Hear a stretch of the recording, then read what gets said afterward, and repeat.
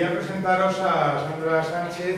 Sandra Sánchez es doctora en Ingeniería de Montes y el doctorado lo hizo en temas de logística y optimización del suministro de, biomasa, que es uno de los temas que en el centro de investigación en el que trabaja, que es el CEDER de...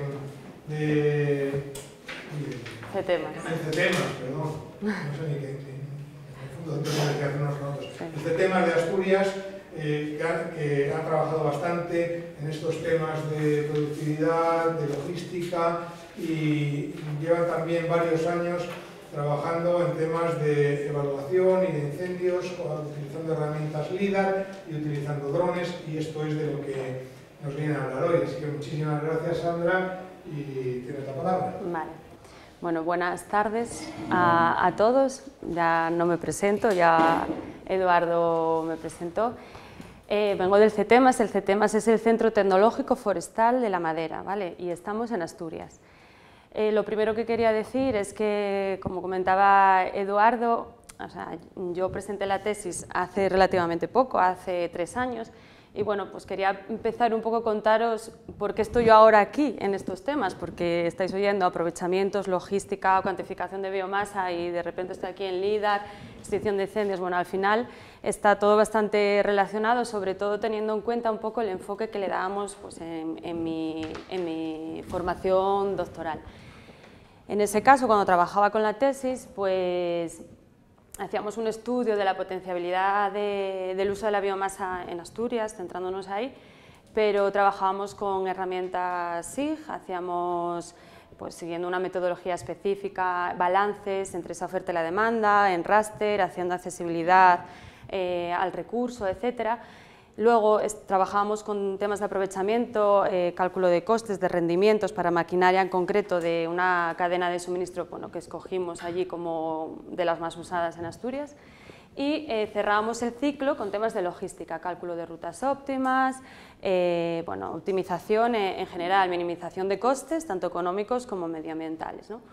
Bueno, pues a lo largo de, la tesis, pues mm, a, la, par, más o menos, empezamos a, abrir estas nuevas líneas de investigación en CETEMAS, centrándolo todo, englobándolo en lo que llamamos el laboratorio de, geomática. Pues las formaciones empezaron pues, a la vez que yo hacía la tesis junto con otra, otras, otros compañeros y a partir de ahí, bueno, como os va a pasar a vosotros seguro cuando terminéis la tesis, tendremos que ir eh, viendo dónde podemos eh, focalizar nuestra preparación y a partir de ahí pues, bueno, pues ir viendo pues, los proyectos que nos vayan surgiendo y demás. Lo primero es resaltar que, como es lógico, yo formo parte de un grupo de trabajo, Elena Kanga es mi compañera y es la coordinadora de las líneas de trabajo relacionadas con planificación, aprovechamientos, logística y del, y del laboratorio de geomática. Covadonga Aprendes es una compañera que actualmente está haciendo su tesis doctoral y Antolín Velasco, eh, bueno, son ingenieros de Montes ambas, y Antolín Velasco, pues otro compañero eh, de forestales que actualmente está trabajando más al día a día conmigo. ¿no? Vamos a os voy a contar un poco rápido en qué consiste la fundación, eh, para que entendáis un poco pues, el marco de todo esto. Y luego, comentaba un poco por aquí, o sea, mi idea es quiero contaros un poco lo que me gustaría a mí que me hubieran contado cuando estudiaba el doctorado. No voy a profundizar eh, demasiado en, las herramientas, en la técnica, mm, vamos a ir viendo en qué consisten un poco esos sensores remotos, pasando por los sensores LIDAR, centrándonos en ese, y luego, bueno, pues el uso de los drones, os voy a mostrar un poco los drones que tenemos nosotros allí, cómo trabajando, trabajamos con ellos, y bueno, pues eh, un trabajo que estamos terminando ahora, un proyecto europeo que está relacionado con temas de, incendios. Este es el grupo de, del CETEMAS, un equipo una, de, unas 20, de unas 20 personas. Y bueno, somos una fundación privada sin ánimo de lucro que se fundó en el año 2009. Estamos de, de aniversario, o sea, cumplimos los 10 años ahora. Eh, nuestro trabajo gira en torno a la investigación, al desarrollo y a, la innovación, pero también damos servicios tecnológicos y, formación. Todo esto, pues bueno, al ser una fundación tenemos unos patronos entre los que se encuentran diferentes empresas de, de Asturias relacionadas con la madera, todo desde la cadena, o sea, que cubra eh, la cadena Monte Industria. De tal manera que nosotros no hacemos investigación, eh, o sea, hacemos una investigación orientada a lo que ellos nos van también transmitiendo. De ahí que vaya surgiendo la necesidad de crear este laboratorio, la necesidad de incluir las nuevas tecnologías en nuestros trabajos, investigaciones, etcétera, porque al final pues, se va requiriendo cada vez más. Este sería un esquema así genérico donde englobaría todo esto. El centro en sí podríamos agruparlo en dos áreas, lo que pasa que nos cuesta bastante trabajo luego hablar de, dos grupos exclusivamente. ¿no? Uno sería tecnología de la madera, del que no voy a hablar, es un, mundo bastante diferente al, que estoy trabajando yo, y, luego el otro sería desarrollo forestal sostenible, donde encajaría planificación eh, de los aprovechamientos y la geomática. Cerraríamos el ciclo de toma de datos en campo mediante inventarios convencionales o mediante inventarios mediante estos sensores de los que vamos a hablar aquí. Trabajamos en la creación de herramientas de decisión, eh, temas relacionados con la optimización de los aprovechamientos y pues manejamos, generamos y actualizamos cartografía, entre otras cosas pues con estos drones eh, que antes hablábamos. Bueno, pues empezamos ya en materia. Y bien, para arrancar, eh, todos sabemos que los inventarios eh, en campo, pues son, o sea, existen los inventarios de toma de datos de manera tradicional en campo, pues eso, para medir diámetros, eh, alturas, etcétera. Esto no va a desaparecer, ¿vale? Yo no vengo aquí a decir que con las nuevas tecnologías vamos a eliminar las parcelas que tenemos que hacer en campo, de, de, validación, etcétera. Al contrario, vamos a llegar al final, donde después de ver todo lo que estamos haciendo, justamente ahora estamos en la fase de validación en el terreno. Pero es cierto que con el avance de las nuevas tecnologías están surgiendo nuevas formas de tomar datos con lo que llamamos sensores remotos. Y todo ello pues, va fuertemente ligado con el uso de los sistemas de información geográfica mediante diferentes herramientas y softwares. ¿Qué son, esos sensores remotos? Algunos igual ya lo tenéis muy claro, pero bueno, la definición en sí es un poco así abstracta. Eh, son instrumentos que transforman la radiación electromagnética en información perceptible y analizable.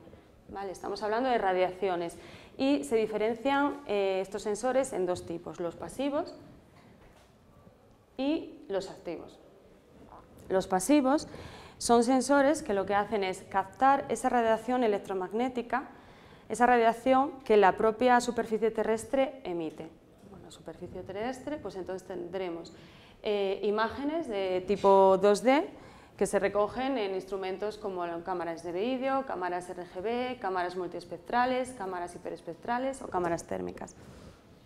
Nosotros trabajamos también con este tipo de, cámaras y con unos, con unos drones específicos que luego vamos a ver, pero vamos a ir centrando todo hacia el LIDAR.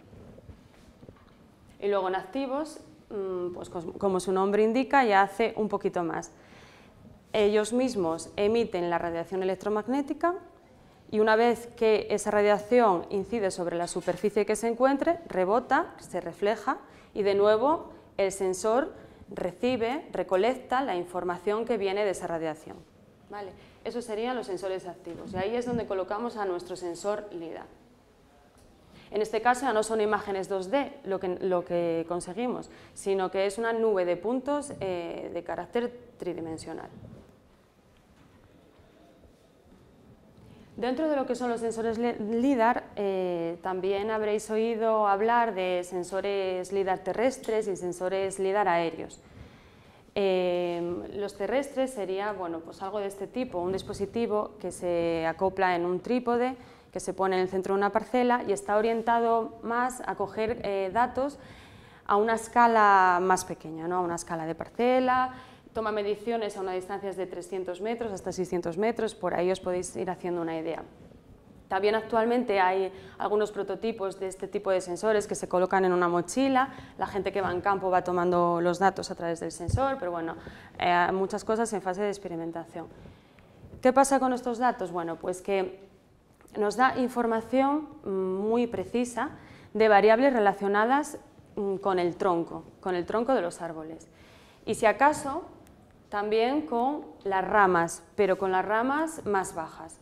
Podríamos mm, determinar diámetro del fuste, también el número de ramas de ese fuste e incluso el ángulo de inserción. pero ya no nos podríamos ir a variables de copa. No podemos olvidar desde dónde está tomando esa imagen. En realidad, el haz de luz incide un poco desde abajo hacia arriba si estamos pensando en la copa. Para eso, ¿en qué se está trabajando ahora? Pues eh, la combinación de este tipo de, variables con los datos LIDAR. ¿vale? Por independiente, cada uno tiene su utilidad. Hay que saber eh, para qué lo queremos, a qué escala vamos a trabajar, etc. Pero también ahora mismo a nivel de investigación y en concreto pues, la chica que os comentaba yo, Covadonga, que está haciendo su tesis, una de sus contribuciones es, está eh, centrándose en esto, ¿no? está pues, combinando esta información y viendo a ver ahí las variables, cómo se correlacionan, etc. Si nos vamos ya a una escala más amplia, ya podemos considerar esos sensores LIDAR aéreos, Hablamos ya de masas forestales. Las mediciones que toman esos sensores, pues bueno, aquí tengo puesto que toman eh, datos a una altura de 400, 2500 metros sobre la superficie. Bueno, esto con los drones es una de las cosas que se puede mejorar sustancialmente, porque ya puedes estar volando actualmente a los 120 metros de distancia de, la superficie arbórea. Por lo tanto, como podemos imaginar, pues eso mejora sustancialmente. Pues bueno, aquello era una imagen más en plano, aquí ya vemos un poco el aspecto de una masa forestal, estos son datos del PENOA, pero vamos a ver eh, otro tipo de nubes de puntos. ¿Y cuál es el principio de funcionamiento de los mm, sensores LIDAR? Bueno, eh, me da igual que sea terrestre, bueno, en parte es lo mismo, tanto en el terrestre como en el aéreo. Voy a explicar el aéreo, ¿no? el principio de funcionamiento. Pues bien, ese sensor estaría eh, colocado y se transporta en un, vehículo aéreo, que puede ser un avión, una avioneta o un dron. Ese sensor lo que emite es eh, un pulso, un pulso láser, que se denomina así, ¿no? Un pulso. Pues bien, en cada uno de esos pulsos genera un barrido sobre la superficie de tal manera que va a ir moviendo, desplazándose el vehículo y va a ir captando la información según se va moviendo de ese haz de luz. ¿Vale? Esos láseres pueden eh, emitir mm, un, pulso, como vemos aquí, o muchos pulsos. En el caso de nuestro dron, que veremos después, pues emite 16 pulsos por, metro, por, metro, cuadrado, ¿vale? Pero el concepto de funcionamiento es este. Nos centramos en un pulso, emite un pulso, abre el barrido y capta la información, se desplaza y va cogiendo de ahí pues, pues la información que, va tomando. ¿Qué es lo que hace? Pues calcula el tiempo que pasa entre que emite la radiación y la recoge de vuelta, de tal manera que calcula la distancia de desplazamiento también sabiendo la velocidad a la que se está moviendo. Y con ello, bueno, pues tiene unos datos, vamos a ver ahora en la siguiente diapositiva, que se me estaba olvidando. Importante de, este sensor LIDAR, pues eh, siempre va acompañado de un GPS diferencial. GPS diferencial que se transmite mediante radiocontrol, radiofrecuencia, con un GPS instalado siempre en el terreno. Esto da lugar a que eh, de manera a tiempo real vaya rectificando los posibles errores derivados pues, de la propia toma de datos, de la conexión con los satélites y demás. Y también incluye lo que se denomina una IMU, un AIMU es una unidad de medición inercial. Es otra capacidad que tiene de ir rectificando en tiempo real sobre posibles errores que bueno, pues a nosotros una vez en gabinete nos reduce bastante el tiempo luego de procesado. Lo que toma esta IMU son datos relacionados con las fuerzas gravitacionales, con la aceleración, con la velocidad, ¿vale? Eh, va rectificando los errores derivados de esos pandeos hacia adelante, hacia atrás, hacia un lado, hacia la izquierda.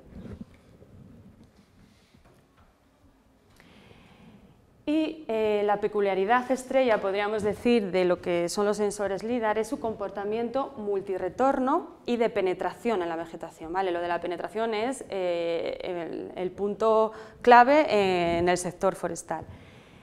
el láser, cuando, rebota en una superficie terrestre, en algo sólido, rebota un retorno, nada más. En el agua no, rebota nada por el tipo de material que es. En cambio, en la vegetación, por cada uno de los pulsos, aquí vendría un pulso, incidiría en la vegetación, este sería un primer retorno que está llegando a las ramas más altas de ese árbol, que dan la vuelta, dan la información de lo que se está encontrando por aquí, pero hay eh, a su vez el, haz de luz sigue bajando hacia abajo, sigue penetrando la vegetación, alcanza otros estratos de la vegetación, en este caso otras ramas más abajo, y rebota información, segundo retorno de la vegetación. Así sucesivamente, en este caso mostramos tres retornos, hasta conseguir llegar al suelo.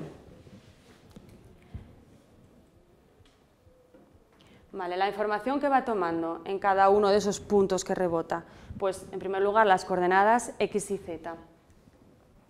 Los retornos, pues te dice cuántos retornos tienes por cada uno de los pulsos. Y luego, pues variables relacionadas con, la radiación electromagnética en sí, relacionadas con la intensidad, con la luminosidad, que a su vez se relaciona muy bien con variables de la vegetación, como la altura, la fracción de cabida cubierta. Bueno, aquí vemos una imagen de lo que sería una nube de puntos una vez ya que nosotros, nosotros cuando descargamos la información, pues tienes ahí un pupurri en 2D que tienes que ir moviendo, visualizando con programas específicos para este tipo de, de, información.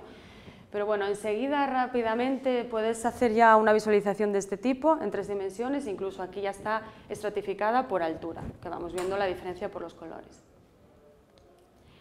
Bueno, decir que el, término de resolución en este tipo de, datos sería el equivalente a la densidad eh, de puntos.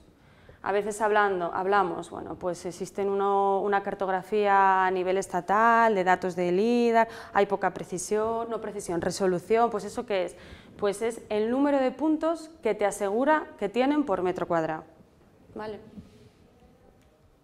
Que no es lo mismo que la precisión, y aquí en la precisión podemos diferenciar dos tipos. Una precisión vertical, en términos absolutos, relacionada con los objetos, en donde nos moveríamos entre más o menos 0,5 metros en superficies duras y regulares y más o menos 0,10 metros sobre superficies blandas, donde encajaría la vegetación.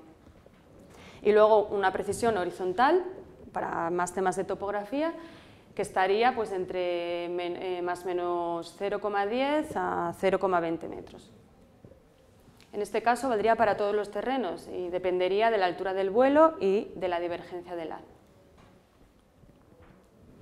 Bueno, una vez que tenemos filtrados los puntos, hay que hacer una serie de clasificaciones con programación y demás, ¿qué obtenemos o qué tenemos que obtener? Nosotros queremos un modelo, modelo digital eh, de las alturas de la vegetación. Queremos esos puntos, pero de la vegetación. Hay que hacer, vamos a separar. Si quisiéramos el modelo digital del terreno, pues nos quedaríamos con los datos del terreno. vale, directamente o bastante de, manera bastante eh, rápida tendríamos ese modelo digital de elevaciones. Pero ¿qué pasa? Que este modelo se construye a partir de estos datos LIDAR, que normalmente las cotas están referenciadas al nivel del mar. Esto, para hacer un modelo digital de elevaciones, es interesante. Para hablar luego de vegetación, pues no, nos descuadra un poco ahí los números. ¿no? Y a su vez tenemos el modelo digital de superficies. El modelo digital de superficies, yo lo veo así muy rápido, si me imagino pues una tela, una sábana cubriendo la vegetación. Ese perfil, ese perfil que vemos así, ese modelo que va cubriendo la parte más alta de, la vegetación, ese es el modelo digital de superficies. Y por abajo tenemos el modelo digital del terreno. ¿vale? Nosotros queremos la información de esta parte, el modelo digital de alturas de la vegetación. Bueno, pues por diferencia entre ambas capas obtenemos ese, ese modelo, que es a partir del cual nosotros vamos a analizar a nivel estadístico, bueno, vamos a ver los diferentes estadísticos descriptivos, las variables que se relacionan con nuestra masa, etc. Bien, pues ahora ya tendríamos los puntos relativos a que podrían estar dos estratos y eh, hay que ver qué, variables vamos a analizar nosotros. Los estadísticos descriptivos que más se vienen utilizando hasta ahora son los relacionados con la altura y con la fracción de cabida cubierta. Y para ello, bueno, pues puedes tomar esos datos de altura que, que, te está suministrando, la altura máxima, la altura mínima, pero normalmente se juega con los percentiles. De hecho, lo que se suele trabajar es con el percentil 95 cuando se habla de altura dominante y con el percentil 90 cuando se habla de, altura media. Aquí, bueno, pues aquí luego el criterio del, forestal o del ingeniero de montes. Ahí, pues si tú conoces la masa, si conoces, puedes poner los cortes en un sitio o en otro, vas viendo. Tampoco es sota, caballo y rey y que yo diga que el 95 es la altura dominante. Aquí es donde hay que parar a pensarse, no es automático, hay que establecer por dónde vamos a ir tirando. De hecho, que se me olvidaba, la fracción de cabida cubierta, por ejemplo, para poder trabajar con esa variable, eh, se utilizan el porcentaje de retornos de los primeros retornos. ¿vale? Si recordáis, los primeros retornos son los, de por arriba, por arriba. Es la variable que se suele utilizar pero tienes que meter como una altura de corte también para que no te considere los de zonas que no, no, van a ser determinantes para la fracción de cabida cubierta. Bueno, pues ese punto, ese height break que se llama, pues eh, también lo tenemos que ir determinando nosotros para para cada caso concreto. ¿De dónde se pueden sacar estos datos LIDAR? Bueno, pues tenemos, como antes comentaba, el Plan Nacional de Ortofotografía Aérea. Esto se puede descargar de manera gratuita del Instituto Geográfico Nacional y eh, la, densidad de puntos que proporciona no es la misma dependiendo de la comunidad autónoma donde, donde nos encontremos. En Asturias eh, hablamos de 0,5 puntos por metro cuadrado. Creo que aquí en Madrid también, porque es el término general. Luego, si es verdad, un punto, tenéis un punto ya. Porque ya tenéis el del 17 vosotros. Vale, eh, pues eso, pues es un, plan que eh, está cofinanciado entre las diferentes comunidades autónomas, entonces pues en función de quién ha puesto dinero ahí, quién ha puesto mayor interés o no, pues tenemos mm, mejores datos ¿no? para poder trabajar. Yo sí sabía que en Canarias, por ejemplo, trabajaban con uno, en el País Vasco también tienen incluso dos en algunas zonas. Bueno, nosotros en Asturias tenemos 0,5 puntos por metro cuadrado y de momento, si trabajamos con este tipo de datos, es lo que tenemos. Pues nada, eh, la cobertura que hay allí se voló entre el 2012 y 2015. Estamos a la espera de que estos datos se vuelvan a tomar hay una intención, ¿no? hay, un, bueno, pues la idea de que sí se van a volar.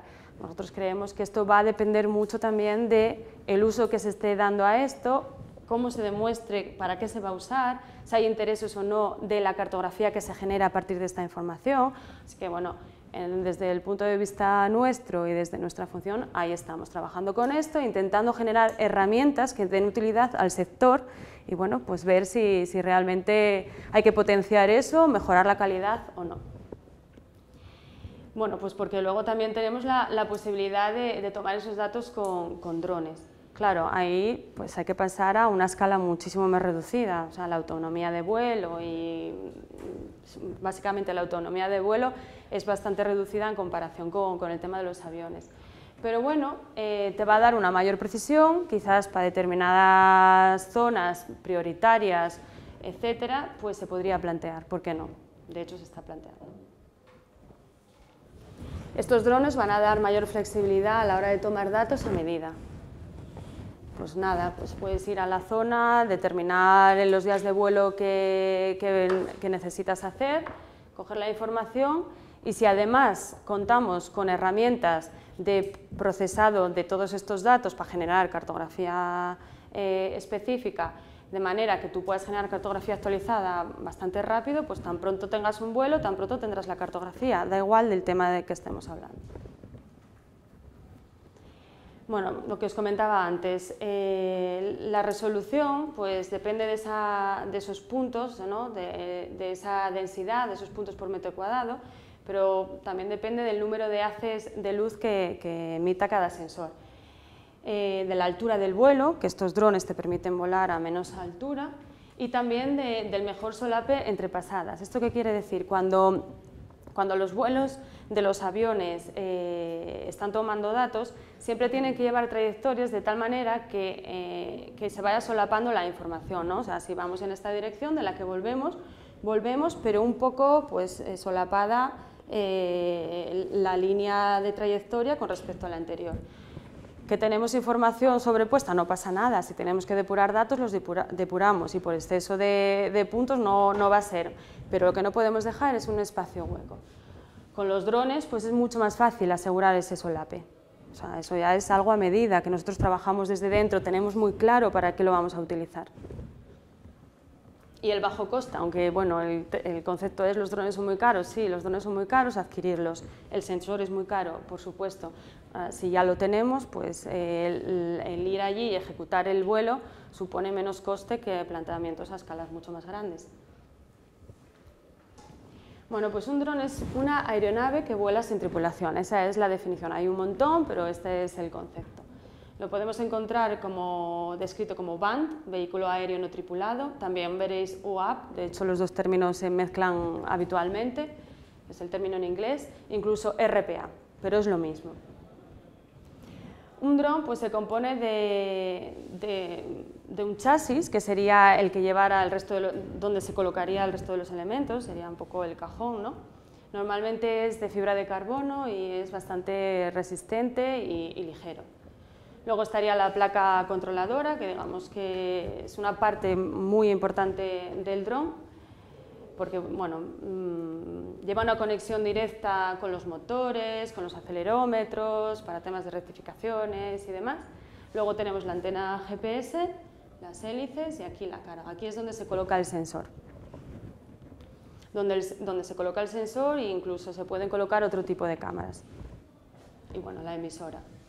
Hay dos tipos de, drones también que habréis visto por ahí. El multirotor, que sería este estilo, con hélices, y el de ala fija, que tiene más pinta de una avioneta pequeña.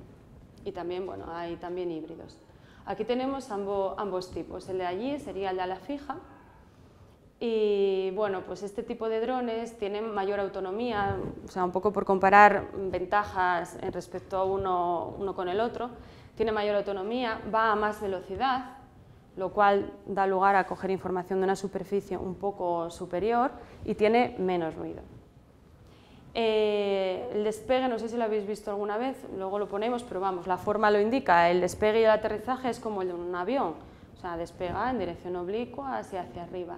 También da lugar a que necesitas un espacio bastante más amplio para efectuar las maniobras. Nosotros tenemos mm, problemas para poder trabajar con esto sobre todo pues masas de castaño, a veces nos cuesta con el otro porque lo subes arriba, de repente ya lo pierdes, no lo ves, entonces bueno, con ese, dependiendo para qué, pues, pues lo utilizamos o no.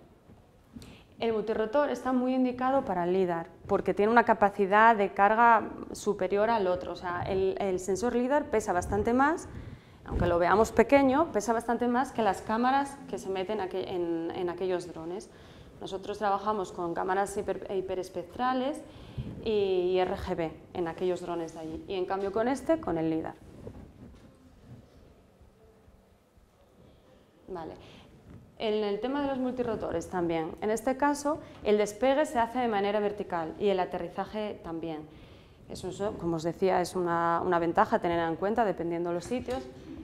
Y eh, también te permite estar mm, no parado, pero a una velocidad bastante baja, tomando datos en una zona. Que te interese, puedes estar ahí, darle ahí, tomando datos, moviéndote, bueno, eso te da pues también eh, capacidad para, para, entrar ahí a niveles de precisión más altos. Y os decía que bueno, estamos volando ah, como, mínimo a, no como mínimo, sí, a 120 metros de altura, ¿vale? A partir de ahí ya tú ya no te puedes meter con un dron.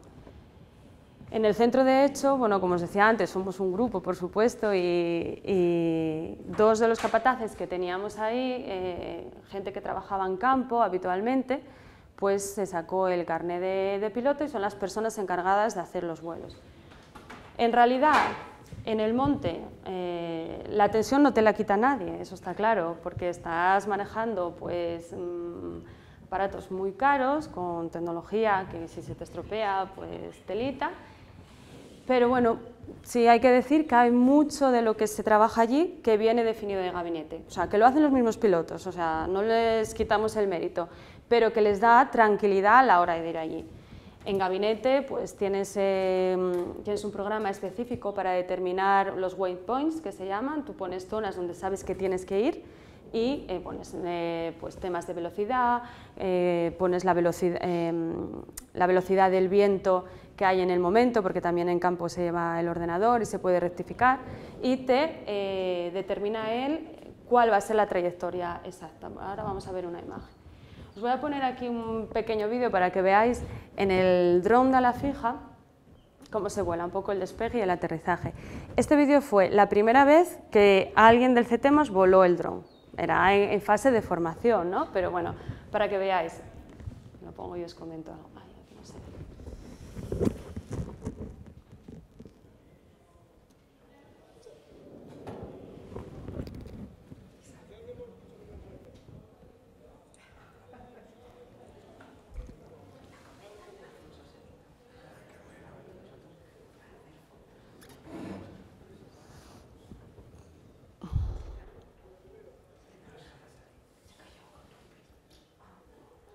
Sacudes ahí, que sepa que tiene que empezar a trabajar, empieza a arrancar.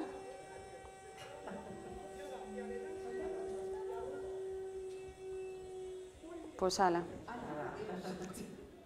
De hecho, aquí no tienes ni mando, o sea, no, tú no vas a controlar nada. Se va, hace toda la trayectoria que se ha definido previamente y vuelve.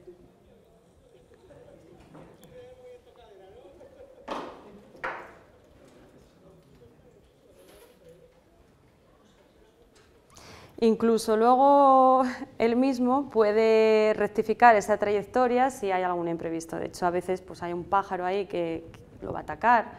Eh, bueno, cosas inesperadas que puedan surgir, pero rectifica, rectifica la trayectoria, lo determina y, vuelve otra vez de nuevo al sitio en el momento que percibe que ya puede volver. Y vuelve, mm, aterriza tranquilamente y nosotros al principio pues, nos costaba mucho trabajo ese concepto, pero bueno, lo vamos superando. Em, con lo que se está trabajando allí bastante con este dron y con las cámaras que antes mencionaba, es para tema de determinar zonas de afección por determinados patógenos. En concreto con el tema del Gonipterus se está trabajando mucho. Eh, bueno, ahí, bueno, en, estos temas, si luego os interesa lo que sea, vamos, no dudéis eh, en escribirme a mí, al centro, a quien sea, y bueno, cualquier cosa. Bien, este sería el sensor LIDAR que, tenemos nosotros. Es multirotor, es un hexacóptero de seis brazos. Tenemos un, un, octocóptero también, con el que volábamos hasta hace relativamente poco, tuvimos un accidente y tuvimos que cambiar de, sistema. Después de probar varias, varias cosas y demás, pero bueno, ahí está la gente experta pues, valorando todo y se decidió este. Eh, las dimensiones pues son 167 centímetros de envergadura. El peso, 12 kilos, incluido el LIDAR y la cámara. La autonomía, 15 minutos. Claro, aquí son 15 minutos. Pues sí, 15 minutos con 6 baterías, puestas en todo momento. Velocidad, 65 kilómetros por hora. Bueno, de todas maneras, luego os voy a dejar ahí unas fichas si queréis coger. Traje unas fichas así descriptivas de los drones que tenemos y también de las diferentes áreas y demás. Y en la página web también lo tenéis. En este caso, lo que os decía, hacemos la planificación de vuelo en gabinete mediante waypoints. Y el piloto, el pilotaje, aquí sí que hay una parte de pilotaje manual, ¿no? con aquel control que veíamos, que sería simplemente para el despegue y el aterrizaje. Y también, bueno, hay, una, hay un previo movimiento ahí para la calibración de la IMU también, que también se hace con el, con el radiocontrol. Y aquí tengo un vídeo también, para que lo veáis por lo menos un poco cómo sube.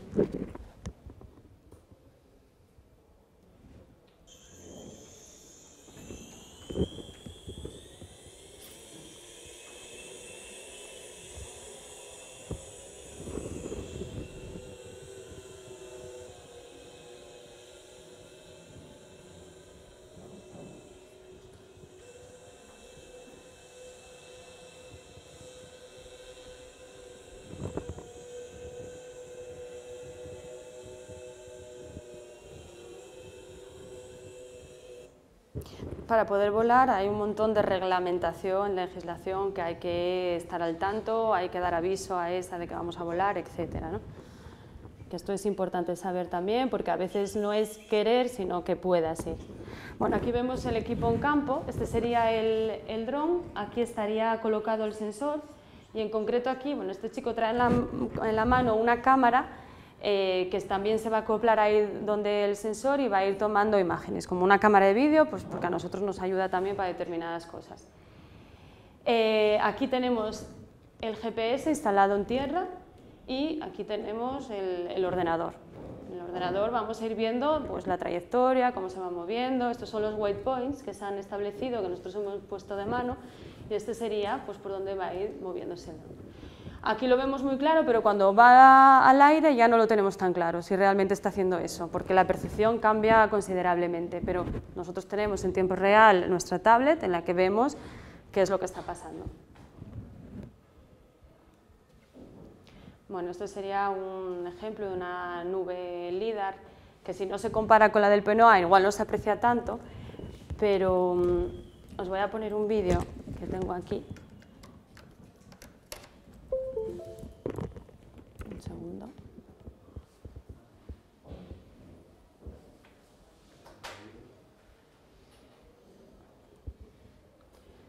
Eh,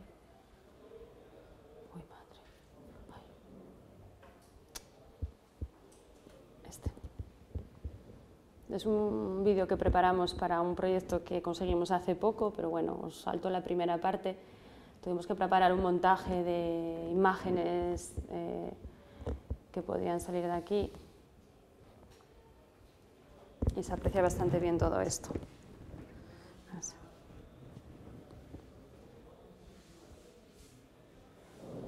Bueno, esto es lo mismo que antes, un poco cortado.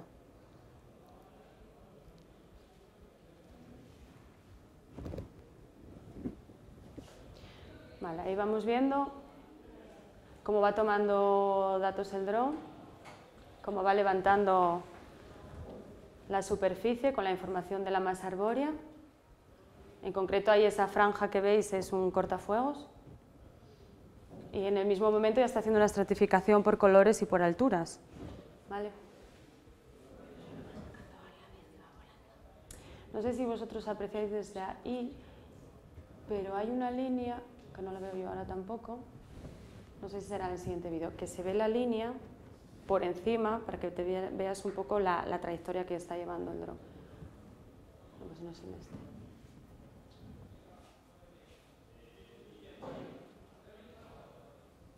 Ahí tenemos el 2D, giramos y vemos un poco lo que está pasando ahí.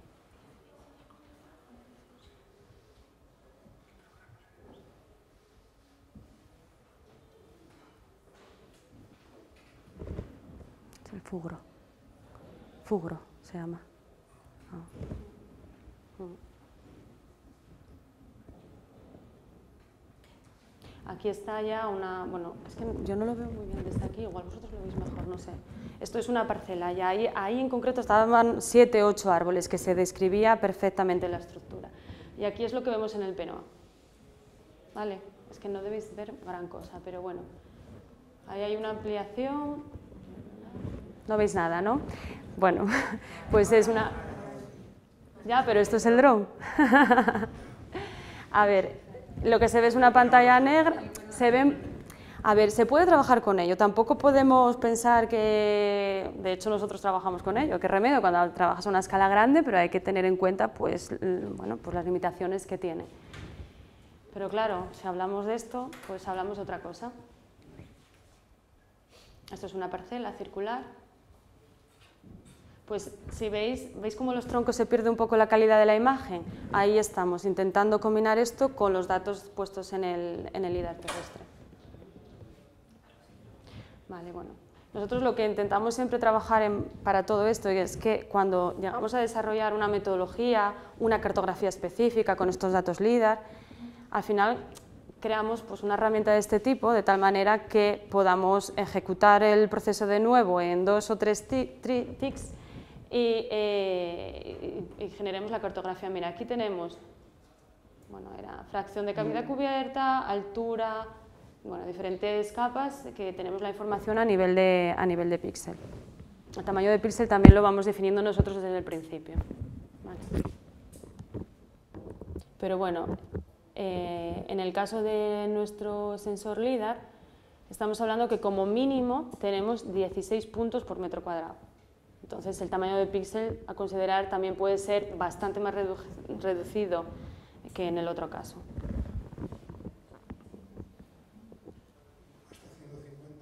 Hasta 150.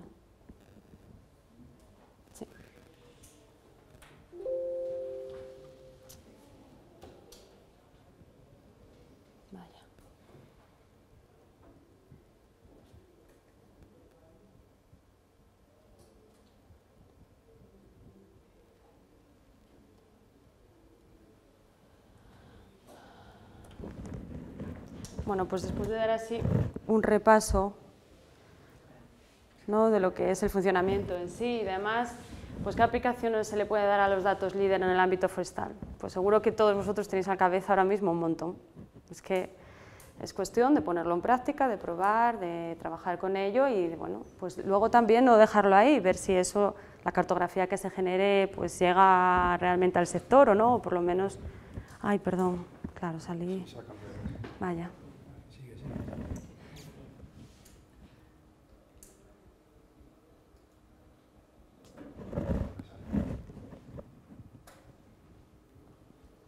Una salida rápida y vamos con una calidad suprema es el modelo digital del terreno. a partir de, los datos LIDAR del PNOA ya tienes un modelo digital fabuloso. De hecho, el modelo digital del terreno que se descarga actualmente del Instituto Geográfico Nacional ya viene de aquí.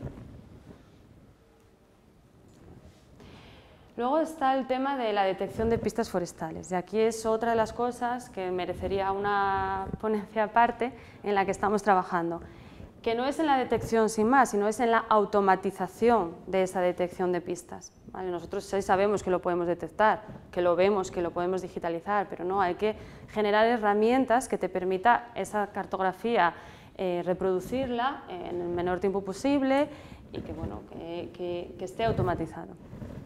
Llegar a un nivel de tenerlas todas las vías, mm, bueno, pues eso es hilar muy fino, pero tener las vías principales, eh, bueno, pues ahí, ahí se, pueden hacer bastante cosas a día de hoy muy interesantes y con los datos del PNOA también. ¿Esto con qué hilaría? Bueno, pues en concreto en Asturias no tenemos pistas forestales digitalizadas, lo cual eh, en temas de aprovechamientos, en el momento que quieres hacer cualquier eh, análisis de logística, de transporte, rutas óptimas y demás, pues tienes una limitación extrema. De hecho, yo mi tesis la sufrí. Entonces, bueno, pues hemos trabajado en la automatización de pistas en, zonas piloto y luego hemos eh, eh, dado un paso más allá, trabajado con, esa, con esas vías para, optimizar aprovechamientos en base a las variables que éramos capaces de medir con, el LIDAR. Pero bueno, cualquier cosa sobre esta, pues eh, ya sabéis dónde estamos. Eh, algo que tiene relación con incendios y con lo que hemos trabajado también algo, a ver, si hablamos de optimización de, de, rutas y estamos hablando de pistas por el monte, pues el tema de los incendios y los vehículos de bomberos, pues al orden del día. Pues nosotros allí, que trabajamos directamente con el Servicio de Emergencias del Principado de Asturias, pues es un reclamo diario, o sea, no, no tienen, ellos no tienen cartografía para saber por dónde tienen que entrar y, si además tuviéramos una cartografía con dimensiones de ancho o si hubiera un apartadero que ellos supieran que pueden girar ahí, temas de maniobrabilidad, todo este tipo de cosas, pues les facilitaría un montón su, su trabajo.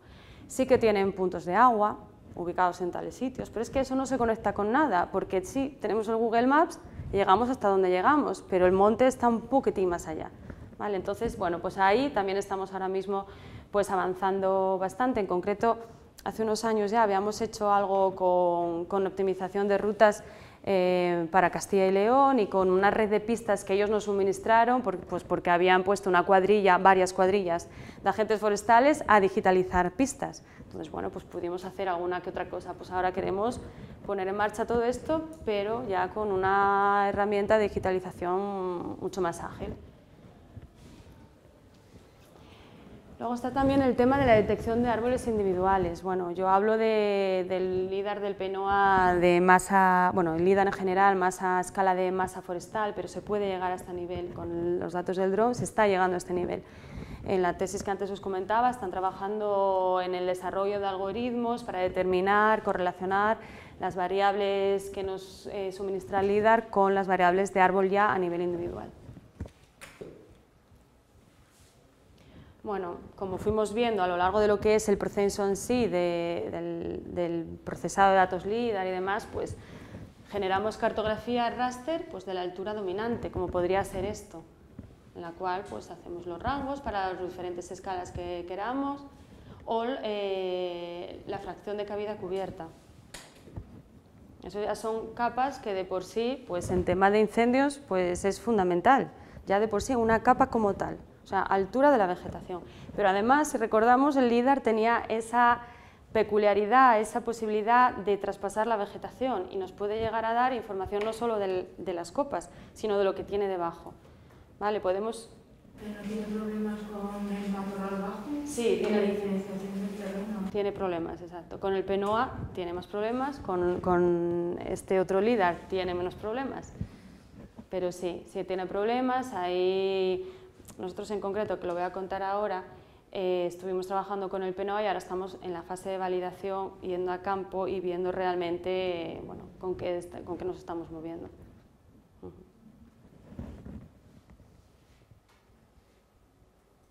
Si podemos diferenciar estratos de la vegetación, podríamos valorar también pues ya variables relacionadas con la, vertical, la continuidad vertical. La continuidad horizontal iría directamente relacionada con la fracción de cavidad cubierta y luego pues, se puede trabajar pues, ya con modelización, en el desarrollo de ecuaciones predictivas de otras variables forestales, como, bueno, como podéis ver ahí. En relación con todo esto llegaríamos a la posibilidad de hacer rodalización en base a pues, las variables que estemos considerando. Bueno, estos son mapas, siguen siendo mapas de fracción de cavidad cubierta, altura, pero aquí tenemos una rodalización.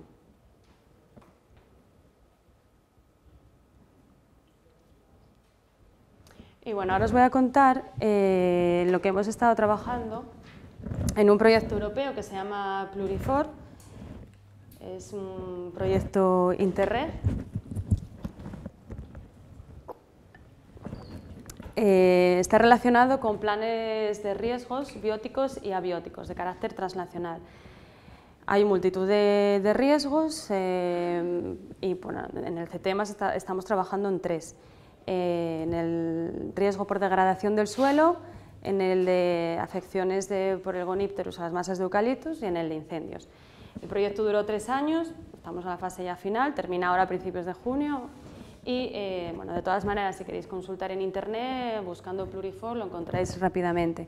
Ahí se fueron colgando los diferentes documentos que se generaron, acciones incluso estuvo en fase pues, de, eso, de, participación pública, lo podríamos decir, a gente involucrada en el sector, dependiendo del riesgo, que pudiera pues, analizar eso, evaluar y añadir cosas a, lo que nosotros proponíamos. En el, proyecto, eh, en el tema de incendios, somos, bueno, somos varios eh, socios y trabajamos pues, en Portugal con investigadores de la Universidad de Lisboa, eh, bueno, aquí tengo los nombres, si no, más adelante. En País Vasco con Hasi, Lourizán en Galicia y nosotros. En un primer momento lo que se planteaba en el proyecto para todos los riesgos era proponer un plan de riesgo. El concepto plan de riesgo y, y además haciendo un maquetado similar para todos los riesgos era mm, muy difícil de abarcar. Entonces, cada uno de los riesgos tuvo que ir viendo por dónde, por dónde podía ir tirando ¿no? y que fuera, bueno, pues al final, algo que, pudiera servir para las regiones involucradas. De esta manera, bueno, ahí en el resumen ejecutivo que podéis descargar ahí, en, eh, lo que se hizo fue, en el caso, de, en el caso de, bueno, de Asturias y del País Vasco de Galicia, hacer una revisión a los diferentes planes de riesgo, si es que los había, de incendios en las tres comunidades y, en Portugal. En el caso de Asturias no tenemos plan de riesgos de incendios, sí que tenemos protocolos, tenemos un protocolo, el Infopa, bueno, pues que podríamos decir que es el que más información lleva relacionado con lo que tendría que ser un plan de riesgos, pero no lo hay. Hay unos planes de defensa que están haciéndose a nivel municipal, pero que no acaban de, de, mm, terminarse. Bueno, hay un montón de papeles por ahí, pero que en su conjunto podrían eh, dar lugar a un plan de, riesgo de incendios en, un futuro. Pues hicimos ese recopilatorio, planteamos ahí algunos eh, apartados de mejora que se podrían hacer y eh, cada uno de los socios se dedicó a hacer una herramienta o algo que se podría incorporar, en esos planes y que pudiera servir de ayuda tanto para la redacción como para su interpretación, ¿vale? o la puesta en marcha de las cosas que hay en ese plan. vimos algunas carencias en lo que hay hasta ahora, que hacen referencias, pues, por ejemplo, a cartografía GIS de modelos de combustible que no existe, o sea, sí existe, o sea, existe el del mapa forestal, ¿no? pero no para Asturias. O sea, tú si hablas con, los equipos de extinción, pues es que lo hacen a ojo. ¿vale? Y, pero en el Infopat trae que tienen que determinar un, índice de gravedad potencial en base a una cartografía GIS y a estas otras variables que están en esta tabla, etcétera, etcétera, etcétera. Pero esa herramienta no existe, la gente no tiene la información. ¿Vale? Entonces nos pusimos manos a la obra y eh, desde un primer momento trabajamos eh, haciendo grupos de trabajo con gente del servicio de montes por las tareas de, prevención y con la gente del servicio de emergencias del Principado, ¿no? que serían bomberos, para el desarrollo de una metodología que generara esa cartografía de modelos de combustible. No generamos la cartografía sin más, sino Mm, creamos pues, una estructura que, pueda ser reproducible y actualizable tan pronto la información de entrada lo sea. Esta metodología parte de estos cuatro puntos o de estos conceptos o pilares, podríamos llamar. Tiene que ser flexible, o sea, no vale que nosotros como investigadores creamos algo y ya aquí lo tenéis, no. Esto tiene que ser un mutuo feedback en el que los criterios mm, técnicos se adapten a las necesidades reales. Escalable, bueno, pues para trabajar pues tuvimos que arrancar con una escala más pequeña, trabajamos a nivel de municipio, pero eso ya se extrapoló a una escala regional, que podría ser reproducible, estamos en un ámbito, en un proyecto europeo, ¿no? entonces podría ser reproducible para cualquiera del resto de las comunidades autónomas. Actualizable, bueno, pues lo que, lo que comentamos, que esté preparado para cargar la información según la tengamos actualizada y reproducible. Vale, y buscamos que esa cartografía esté adaptada al territorio asturiano. Vamos a ver ahora por qué. Al final, eh, por donde vamos a seguir ahora es por dar ese acceso a esa cartografía. O sea, no queremos que quede ahí. Nosotros somos un centro tecnológico, eh, trabajamos para, muchas cosas con el servicio de montes, trabajamos también con emergencias, pero es que al final la realidad es que la información muchas veces no fluye. Y no, pues no, no estamos ahí, estamos un poquito más allá, tenemos la intención de que eso llegue a ellos de una manera pues mm, relativamente fácil, eh, consensuado con ellos, con unas salidas visuales que les sean prácticas, bueno, ahí vamos. Bien, sin perder de vista la prevención y la extinción. Vale, porque creemos que la cartografía así, como mapas tal cual, son herramientas clave en campo para el, propio, para el propio personal que va a extinguir un fuego, pero también en gabinete, la gente más que están en mandos intermedios, y también eh, para temas de estudios del comportamiento del fuego. Son un input fundamental para los simuladores de, incendios. Este es el esquema así a, grandes rasgos en lo que consiste. Eh, trabajamos cogiendo información del Inventario Forestal Nacional 4, o sea, del mapa forestal español, y datos del PENOA. Bien, ¿qué información cogemos del inventario forestal? Pues eh, variables que nos determinen eh, tema de especie, ¿vale? Porque el IDA no nos va a decir, no nos va a discriminar entre especies, nos va a dar información muy relevante, pero no nos va a decir si lo que tienes ahí es pino, si es pino radiata o si es pino pinaster. Eso no te lo va a decir. Entonces, trabajando con el, mapa forestal, eh, en concreto con las variables del tipo estructural, el estrato del mapa forestal y eh, otros dos campos relacionados con las formaciones arbustivas. ¿vale? Eso nos dice también el tipo estructural si es pastizal, si es prado, si es cultivo, bueno, en arbolado pues podemos diferenciarse por los estratos, pues eso por especies, si es fustal, etcétera. Y luego del LIDAR, pues eh, eh, lo que hacemos es generar mm, eh, mapas de la altura de la vegetación y la fracción de cabida cubierta, diferenciando entre matorral y arbolado. ¿vale? la altura total o la altura de, matorral, para lo cual tuvimos que poner una altura de corte, que fueron de 2 metros. Fueron de 2 metros, pero aún así luego en la asignación de los modelos pues hay algún matorral que te pasa de los 2 metros. Entonces tienes que ir a ver y bueno, pues hay alguna parte ahí que tuvimos que reajustar, colocar, aunque fuera matorral, colocarlo en los criterios de, arbolado, por la altura. ¿no?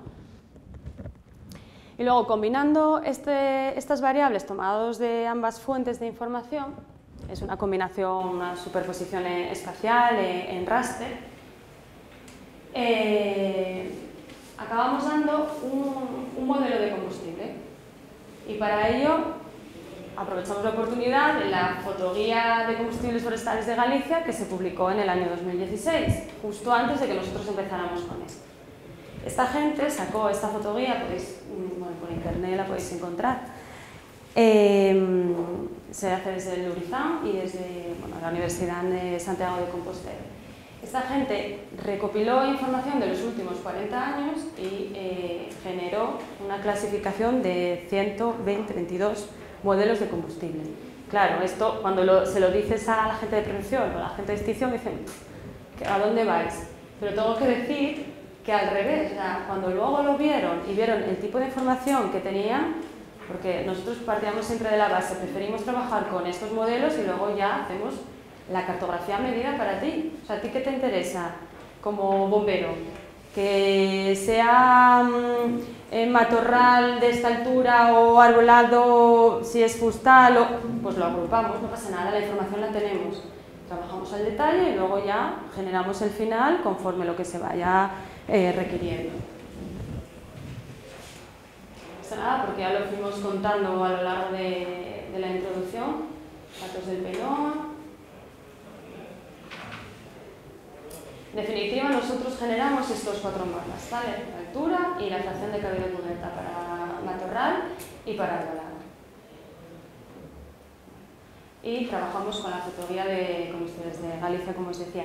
Aquí sí es verdad que, que dudábamos, ¿eh? no sabíamos muy bien qué hacer. Teníamos a Rottermer, que en el mapa forestal aparecía, era lo más sencillo, es con el que se trabajan los simuladores, pero es que, pues mira, empezamos el proyecto con numerosas encuestas con gente de las, las tres regiones y con el tema de los simuladores, que lo hablábamos, es que, no, es que no vale, es que lo que dicen ahí es que Claro, es que ¿qué información metemos ahí? Es que, claro, bueno, pues vamos a ir al inicio de todo esto. ¿Qué pasa con los simuladores? ¿O qué creemos que pasa? Que la información de entrada no es la que creéis que tiene que ser, pues vamos a, cambiar un poco, no vamos a tirar de Rotterman, que son 13 y está muy bien, pero a lo mejor no agrupan como vosotros queréis, vamos a ver. También había otra opción, hay unos modelos em, que se llaman Prometheus, un sistema de clasificación que se hizo en el 2000 algo ya, eh, que es una clasificación de nueve modelos y se hace ya en base a datos LIDAR. Dudamos, dudamos bastante, sí probar. En definitiva, nos fiamos de la gente que lleva muchos años trabajando en esto y al detalle y bueno, pues eso es un planteamiento que tenemos ahí para seguir avanzando y probando. La guía también tiene eh, unos componentes que creemos que son eh, o sea, que aportan mucho a, la gente que lo va a utilizar y es que bueno, está distribuida por, por, fichas, que llevaría un código, pues el PS sería Pino Silvestre, del Latizar y el 01 el, el modelo 1. Aquí estaría un cuadro con variables relacionadas eh, bueno, con la altura, con la edad, la densidad de arbolado, pero también añaden un, abaco donde puedes ver la relación entre la velocidad de, del viento y la velocidad de propagación.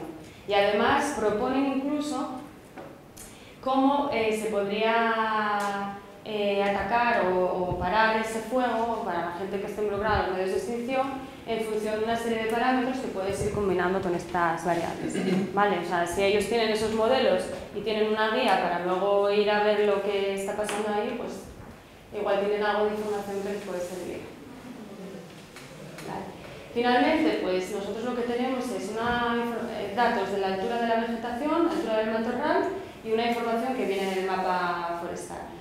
Mediante Python, mediante codificaciones, pues al final haces con condicionantes una asignación de, de esos modelos. Al principio, cuando trabajamos a una escala municipal, llegaba un punto donde no podíamos llegar a discriminar tantísimo como hacen ellos y tenemos agrupaciones. Hay, pues yo qué sé, el ULES, pues hay diferentes ULES y lo tenemos agrupados. En realidad, la práctica me da igual que sea el 1, el 2 y el 3, hay que ir a ver ahí. Ahora sí es verdad que estuvimos trabajando en, bueno, pues esto en general ya a escala regional y además en incorporar en esa combinación de variables pues la fracción de cavidad cubierta, que como veis ahí al final no la habíamos metido, sí la habíamos generado porque es una cartografía complementaria y necesaria, pero no la habíamos involucrado en el código, ahora ya sí, ¿vale? porque esa fracción de cavidad cubierta está en la guía también. Y hay modelos en los que, en lo que para poder diferenciar si es uno o dos puedes diferenciar con esa variable, en otros no. Bueno, y al final lo que tendríamos sería un mapa de este tipo, ¿no? Aquí eh, ya no, aquí ya están agrupados, ya no aparecen con el código, no lo, no lo estáis viendo, ya lo sé, pero bueno, ahí ya están grupos castaño fustal, castaño latizal, ericas todas juntas, eh, pino piraster fustal, por ejemplo, si los pinos diferenciamos entre fustal, latizal, monte bravo, los tojares todos juntos, eso ya se puede ir haciendo el grupo según, según quieras. Ah, mira, lo tenía aquí ampliado, vale. Esto a nivel de municipio. Y luego, pues también te puedes ir a una escala de monte. ¿Vale?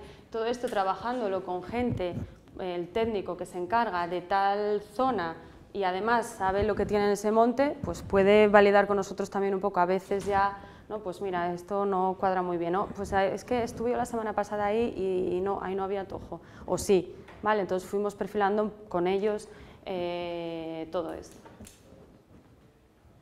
Vale, ¿y ahora dónde estamos? Bueno, pues en la fase de validación. Eh, hemos preparado pues, un protocolo de campo y tenemos distribuidas diferentes parcelas por toda Asturias que cubran pues, los modelos de combustible más representativos. No vamos a cubrir toda Asturias, o sea, no es concepto territorial, pero sí eh, que estén representados en la medida de lo posible eh, los modelos que más superficie ocupan. Entonces, bueno, hay tenemos que tomar unos datos en campo relacionados con la altura, la continuidad, vamos a meter el tema de la continuidad vertical y horizontal porque queremos ver ahí también un poco cómo se relaciona con todo esto. Y ahora en verano, pues la idea es recopilar esa información y ver lo que pasa. O sea, aquí estamos mostrando lo que hicimos hasta ahora y ahora vamos a ver pues, al terreno, ¿no? Y además, pues a mayores, en algunas de esas parcelas de la propia red de distribución, vamos a volar con el dron. Algunas ya se volaron, ya se volaron, están sin procesar, están ahí, vamos a la espera de que nos podamos poner con ello. Obviamente ahí vamos a ver dónde estamos fallando, dónde están nuestros puntos fuertes, dónde están nuestros puntos débiles. Vale, y bueno, eh, ya un poco por terminar, pues deciros que todo esto pues, eh, se trabajó pues, con numerosas consultas, colaboradores, eh, con encuestas que en un principio pues, así lo creímos y creo que funcionó bastante bien.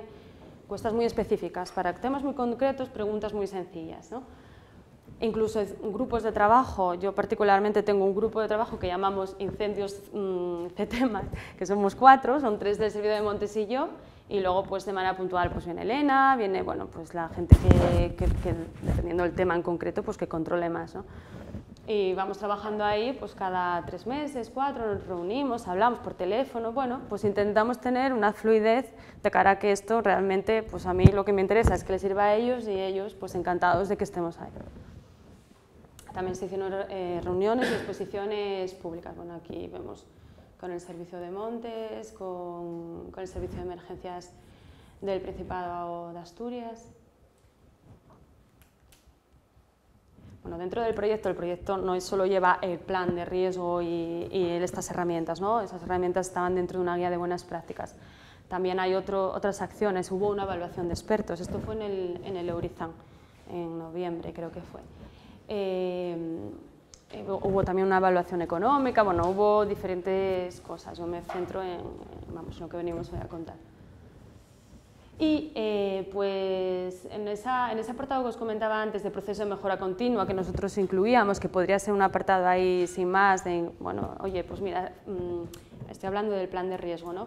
Eh, hay carencias en esto o en lo otro, bueno, pues intentamos centrarnos en estos dos, en asegurar una formación adecuada relativa al manejo e interpretación de dichas bases de datos a la gente que lo, que lo vaya a usar. ¿no?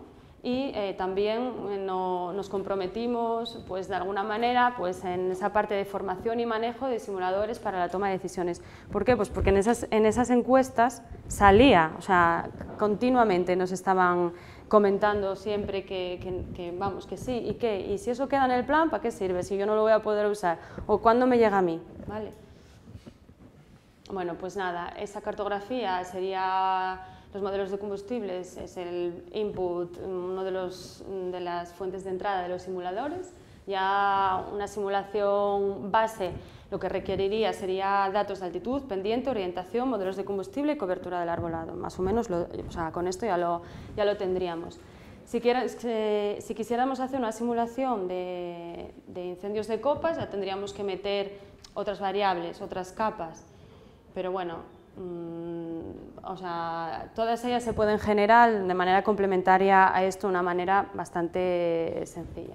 O bueno, no sencilla, pero que ya hay gente que sabe bien cómo, cómo trabajar en ello. Para esto, no sé si visteis antes en la foto, estaba Enrique Jiménez de Lorizán, que es una persona, él, junto con su equipo, que trabaja un montón con simuladores. Pues bueno, pues seguimos con ellos trabajando esto es eh, bueno, la encuesta relacionada con el tema de los simuladores que, que se pasó. Y eh, hace poco, la semana pasada, sí, la semana pasada creo que fue, el 13, 13 y 14, pues lo que hicimos fue hacer una jornada en primer lugar de difusión de todo esto eh, allí en el CETEMAS, donde bueno, pues venimos la gente involucrada en el proyecto, pero también hicimos un espacio, un punto de encuentro en el cual vino gente de la universidad, del Indurot y bueno, pues, eh, los colaboradores del Servicio de Montes y toda esta gente. Expusimos todo esto y al día siguiente, al día siguiente hicimos un taller de simulación, ¿vale? era ya un taller eh, cerrado. Éramos 24 personas, mitad del servicio, mitad de bomberos. Eh, bueno, el Servicio de Emergencias del Principado de Asturias. Ahí había gente de bomberos, gente de la BRIPA, que sería la Brigada de Investigación de Incendios, y, eh, técnicos del 112, ¿no? de, coordinación. Entonces, el planteamiento que les pusimos, y que bueno, también fuimos maquetando un poco con ellos, fue que íbamos a hacer, a enseñarles cómo manipular esta cartografía, y también hacer algunas simulaciones. ¿A qué escala íbamos a trabajar? Bueno, pues nos planteamos una escala municipal para hacer simulaciones orientadas hacia la prevención, para eso trabajamos con el programa FlapMap, y luego eh, una escala más de monte para hacer simulaciones orientadas a extinción. Y para eso utilizamos el Farsight. Bueno, pues con, en esas simulaciones íbamos a trabajar con la cartografía eh, con, los mapas de combustible de Rotterdam y con los nuestros. ¿Vale? Porque bueno, pues vamos a ver lo que está pasando ahí, si nos estamos adaptando, bueno, también ellos manipulaban un poco todo esto. Y además les propusimos que nos dieran un límite de un monte donde hubiera habido un incendio, y un incendio que estuviera cercano al año 2012, porque es que no podemos olvidar, estamos trabajando con el PNOA ahora mismo y los datos son del 2012, o sea, cuesta un poco llevarlo luego a, la práctica. Claro, nuestra idea es que esto está maquetado, preparado, para que cuando tengamos esa información la podamos ejecutar rápidamente, o con el dron. O sea, zonas prioritarias, concejos que se queman, montes que sabemos que sí o sí o sí van a volver a quemar. Bueno, pues nosotros generamos la cartografía de hoy para mañana o bueno, de hoy para una semana, ¿no? Y, nada, ahí estuvimos trabajando y la verdad que, que salió muy bien, salió muy bien. Eh, así, en conclusiones generales, los resultados obtenidos con la simulación con los modelos de Galicia salían bastante más cercanos a la realidad de lo que de verdad sucedió en ese incendio en el 2012 que eh, lo que salía eh, con el simulador con los modelos de, de Rotterdam. Y bueno, ya para rematar, pues algunos se anima, todavía está abierto el plazo hasta el día 31 de este International Salmon School, que va a ser en Irlanda, en Waterfall.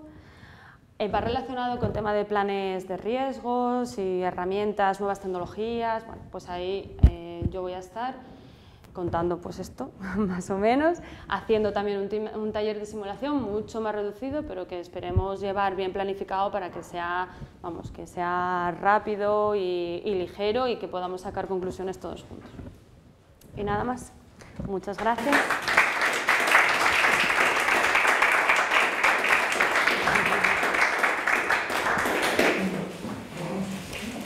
Queréis hacer alguna pregunta. Os voy a dejar por aquí unas fichas de, los drones, de las especificaciones técnicas. Ya os digo, yo información muy detallada de eso tampoco os la podría contar porque no lo sé. A mí la información pues me llega ya un poco mm, preprocesada y ya me meto con los mapas GIS, con los raster, con la superposición, con el Python, pero no hay con los datos que a todo el mundo siempre le, le llama mucho la, la atención. Vamos, pero bueno, os los dejo por ahí y luego lo cogéis. Una pregunta muy aprovechador, vamos, voy a hacerte. Sí. Eh, ¿Cuánto vale el dron con el equipo de LIDAR y con Pues es, mm, más de 50.000 euros. más de 50.000 euros? Más de 50.000. Pero más de 50.000 y menos de 70 o No, por ahí, por ahí, por ahí. No, no mucho más. 50 60. Sí, el sí. Vale, y otra pregunta, has, hablado de la cartografía de pistas y tal, aparte de datos geométricos de altura de pista, etcétera, ¿hay algún software para analizar esos datos de vida y obtener datos de calidad de pista, por ejemplo, posibilidad de uso por tipos de vehículos o ¿estás utilizando ese tipo de...? No, nosotros lo que determinaríamos ahí serían variables de- en cuanto al ancho, las variables típicas de, relacionadas con las Curvas. Eso, eso. Y luego tú eso, ya con el ArcGIS, mm, nosotros con lo que trabajamos es con el ArcGIS y con el Network Analyze, pues ya puedes hacer órdenes de jerarquía, estableciendo prioridades en función de unas variables, haciendo una combinación. Claro, ahí eh, no tienes datos del firme, por ejemplo, el estado del firme, pero sí, por ejemplo, para ancho de vehículos te puede dar bastante idea, o sea, para ya saber qué tipo de vehículo mover en extinción ya te podría dar un poco de juego. Sí, sí. Por ejemplo, en aprovechamientos, que ahí la carga influye mucho y tal, pues ahí de momento no. no. Sí hicimos algún trabajo, pero a una escala de monte y nosotros digitalizando y tomando multitud de variables, porque nos volvimos locos a tomar variables y viendo cómo se trabajaba todo eso Pero después. incluso con el dron, yo supongo que con esas densidades de las que has hablado, de 70 a 100 En el suelo. puntos por metro cuadrado, eso ya te puede dar una... y con esa 0,05 El suelo. centímetros de más o Sí. menos de, de- de te puede dar una, una información sobre de Puede ser, no lo sé. No lo sé, no lo sé. Seguramente, el- el- ya te digo, sé que o sea, está haciendo cosas de este tipo, pero claro, Sí, sí, sí. Sí, sí. Sí, sí, pero bueno, ya temas de, de cómo esté la pista, si está muy machacada o tal, que mucha gente nos preguntan, eso ya yo lo veo bastante más Sí, sí, sí. Sí, sí. Bueno, cualquier cosa, sí. Muchas gracias por la charla, que ha sido súper interesante. Y yo tengo bastantes preguntas, pero me voy a centrar en dos. El, el dron con tanta densidad de puntos, aparte de la validación de, de los estratos de vegetación, esto, ¿se está utilizando para alguna cosa? ¿Le halláis alguna utilidad tanta densidad de puntos? Pero en incendios te refieres. No, en general. en general. Si le estoy dando más utilidad porque veis que eh, la densidad de penoa no es suficiente para determinadas cosas y 100 puntos por metro cuadrado sí lo es. Y luego la segunda, en, en el tema de incendios, si os habéis planteado utilizar el dron al revés, no para validación, sino para calibración de los modelos. Sí. Bueno, sí, a lo segundo, eh, lo primero con la densidad de puntos. Se está trabajando mucho a nivel de árbol individual. Ahí es donde más se está focalizando los trabajos con el dron LIDAR. Al final, bueno, pues eh, a nivel de masa podemos tener información que para planificación puede estar bien, pero para gestión ya no tanto. O sea, si luego tú quieres cuantificar eh, volúmenes y saber realmente si puedes ir a cortar o no, pues ya te estás moviendo pues, en, otro, en otro ambiente. Eso por lo que yo te puedo decir. De todas maneras, en, en ese tema en concreto, vamos, te doy luego el, el contacto de mis compañeros y te pueden decir seguramente mucho más. ¿Y qué me habías dicho? La calibración de modelos. de- Sí, hay también, eh, se están haciendo, se está haciendo pues, diferentes parcelas eh, en concreto para validar, para calibrar un poco los diferentes algoritmos que se están desarrollando. Sí, sí. No se ha podido. Eh, Mm. ya, ya he tenido alguna queja de, por ejemplo, marcar lo de la, eh, lo de matorral, pero... Nosotros estuvimos ahí pensando temas de viñedos, algo estuvimos mirando y con satélite también, pero no, no podemos decir que tengamos ninguna experiencia en eso. Pero No, un poco, o sea, en función de cuál es el- la altura, o sea, la sensibilidad que tiene la altura, eran lo de 5 centímetros de... Sí, sí, sí, sí. Sí, sí, se podría. Separar, por estratos, ¿no? De... Sí, tú- Exacto, sí, sí, tú puedes también, a ver, ahí tienes que jugar con los cortes, pero bueno, estamos hablando con el PNOA, ya lo veo difícil, con el líder podíamos trabajar en ello. Sí, sí. Ahora mismo, bueno, eh, con el LIDAR estamos recopilando muchísima información de muchos diferentes proyectos en los que estamos. En concreto, ahora mismo mm, estamos uno, en uno que se llama Civil Drone con la Junta de Galicia y hay temas de incendios también, pero nosotros no llevamos la batuta. O sea, lo lleva otra gente y vamos un poco ahí viendo lo que podemos ir haciendo. Vamos a volar nosotros, vamos a hacer preprocesados, pero no tenemos la orientación clara desde, desde el centro. Luego está el tema de, de la interfaz urbano-forestal, que se puede trabajar muy mucho, estamos arrancando un poco con ello, pero bueno, ahí vamos. ¿Las plagas también las podéis detectar con dron? Sí, pero con el IBI, con el otro, con el... La... Sí, sí, sí. Sí, lleva la RGB y ahí se están eh, pues relacionando diferentes índices con, pues con la afección, determinación de, de focos calientes para precisamente para meterlo en esos planes de riesgo de, de las masas de, de eucalipto. ¿Se puede hacer diferenciación de especies con el RGB? Pues no te sé decir. ¿Y que- ¿Y vitalidad? Sí. Vitalidad sí. Y especies, bueno, entre un pino y un roble, sí, sí, te tienes que diferenciar ya del serradia te apinaste. No, sería comenzar con dos. ¿Has trabajado con en temas de, de las bandas del pino en el País Vasco? No. No, no, no. Sabemos que están trabajando en ello, pero no. Con Hash estuvimos en el Plurifor. Sí estuvieron trabajando ellos ahí también con datos líder, ellos tienen ahí también información muy relevante. Con lo de hablar de la actualización del problema de tratar con el LIDAR del 2012, a mí se me ocurre también que es un problema del mapa forestal. O sea, que Hombre, sí que claro, que claro, claro. Sí, sí, sí, sí, sí. Por supuesto. Puede ser muy interesante trabajar con satélite, ¿no? No, lo hacemos, no lo hacemos. Eh, no sé si conoces a Flor de Castilla y León, de la Universidad de Ponferrada. Ellos trabajan con satélite y tienen bastante avanzado en esto y estamos interrelacionando sus metodologías con la nuestra, precisamente por avanzar en esos términos. Claro está, o sea, esto es la maquetación y luego todo se puede ir eh, perfilando.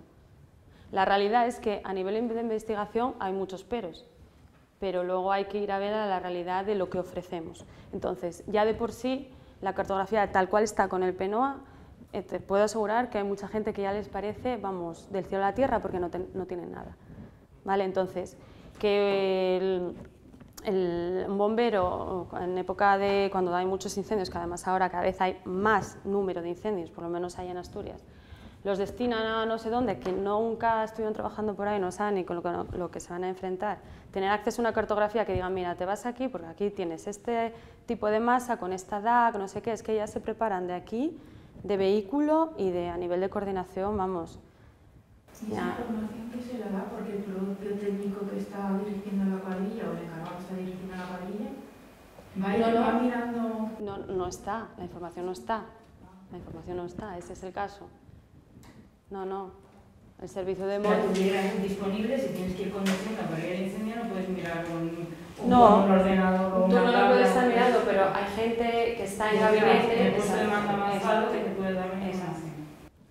Claro, eh, de hecho en estos talleres y demás era casi todo de, pues eso, jefe de intervención, jefe de zona, había también algún bombero, pero bueno, o sea, está claro que hay determinadas cosas que ellos no pueden para pensar, pero si te lo comunican o llegado el momento, siempre hay un jefe de, intervención dentro de la cuadrilla.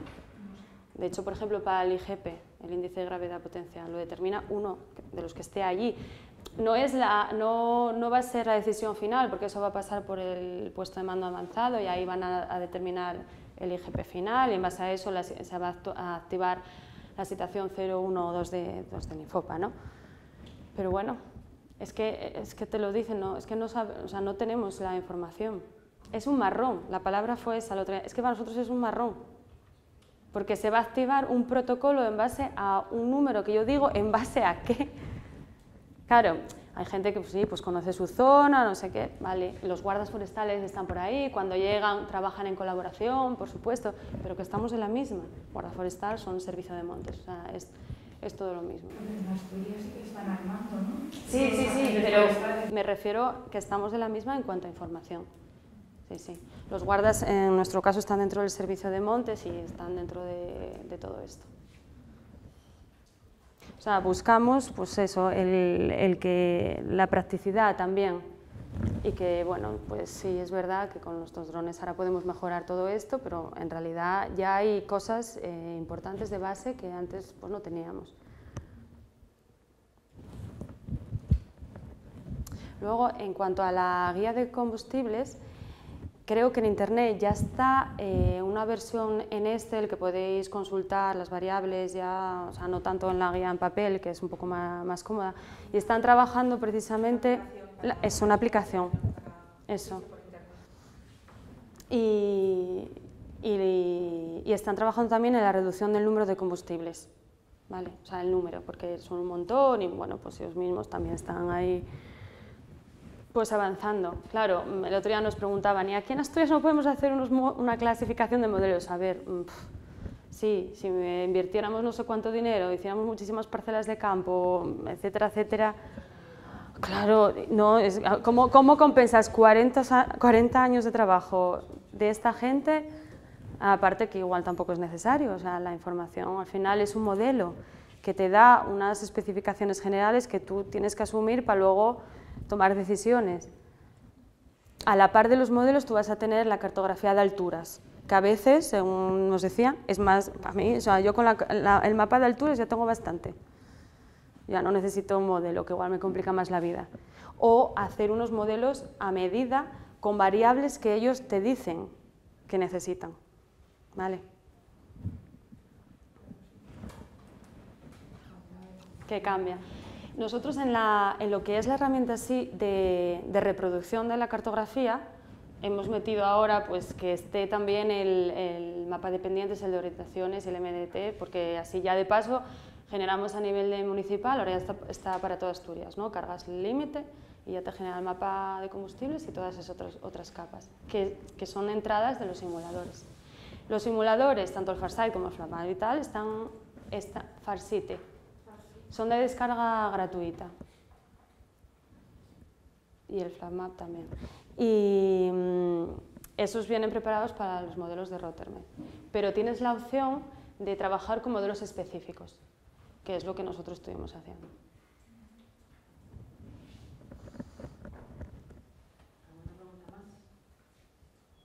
Bueno, nada, cualquier cosa, os voy a dejar por aquí las fichas y Creo que es muy difícil competir con la hora de la comida. Yo no digo nada, que me aburro a mí misma, o sea que... Gracias.